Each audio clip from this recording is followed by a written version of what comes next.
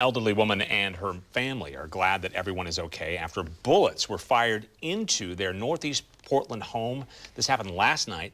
The family says they found at least seven bullet holes through the house, and the person responsible is still on the run. Our Fox 12's Drew Reeves spoke with that elderly homeowner and has the latest. Drew?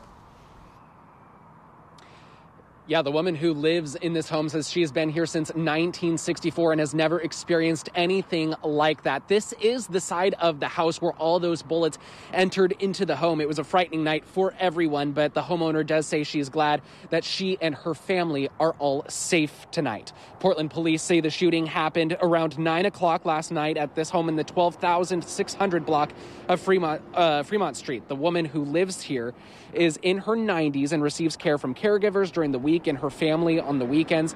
She says last night they were watching TV in the living room when suddenly they heard gunfire. That's when one of her daughters says she heard bullets hitting the house.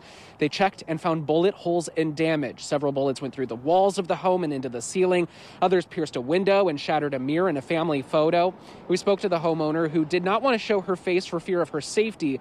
She says she's just glad no one was in the rooms that the bullets flew through at the time. Now she's working on getting everything fixed and repaired.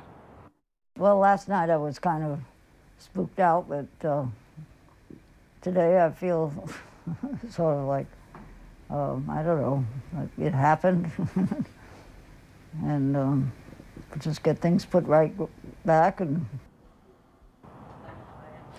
she says she hopes that the people who did this are caught. This is the second shooting police have investigated in this area in the past several weeks. On October 30th, police were dispatched to the nearby Luuwit View Park to investigate reports of around 30 gunshots where one person was injured. Now, Crime Stoppers is offering a cash reward for anyone who has information that leads to an arrest. If you do know anything, you're asked to call Portland Police. Reporting live in Northeast Portland, Drew Reeves, Fox 12 Oregon.